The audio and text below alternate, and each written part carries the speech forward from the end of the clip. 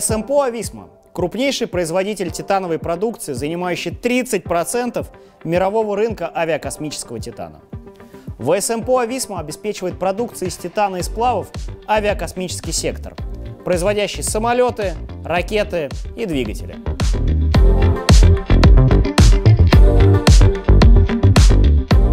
Кроме того, титан широко используется в судостроении, цветной металлургии, химическом машиностроении и энергетике.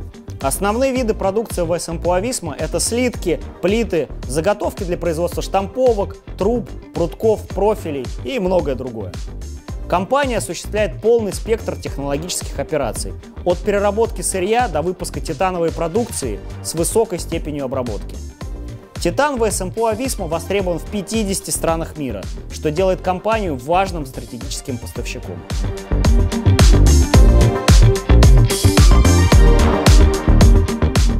История компании началась в 1933 году, когда под Москвой начал действовать завод номер 45 поставщик полуфабрикатов из алюминия и его сплавов для самолетостроения. В 1941 году завод был эвакуирован в Верхнюю Салду, и пока шла Великая Отечественная война, он работал на гособоронзаказ. К концу 80-х годов ВСМПО стала крупнейшим поставщиком титановых полуфабрикатов в мире. В 1992 году компания была приватизирована, а в 1998 приобрела контрольный пакет акций ООО «Ависма».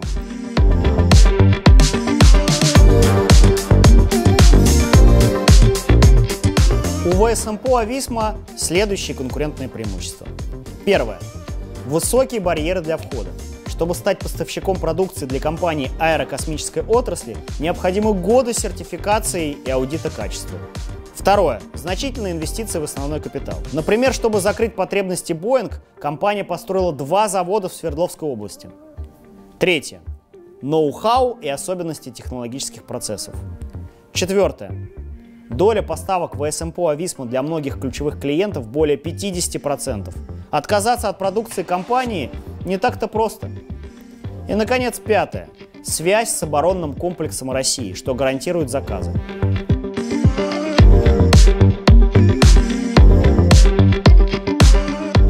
Но и риски у СМПО Ависма тоже есть. Во-первых, прекращение контрактов с зарубежными клиентами из-за геополитики. Во-вторых, проблемы с поставками титановой руды, значительная часть которых приходится на Украину. И в-третьих, наличие прямых конкурентов, таких как Timet, RTI, ATI, кузнечные предприятия в Европе и США, а также китайские производители. Поэтому динамика акций в СМПО Ависма зависит от того, удастся ли переориентироваться на другие рынки при отмене контрактов с действующими клиентами. Будет ли возможность наладить работу с уже отказавшимися клиентами, если геополитическая напряженность снизится? Будут ли перебои в поставках титановой руды? И если да, то удастся ли наладить импорт руды из других стран?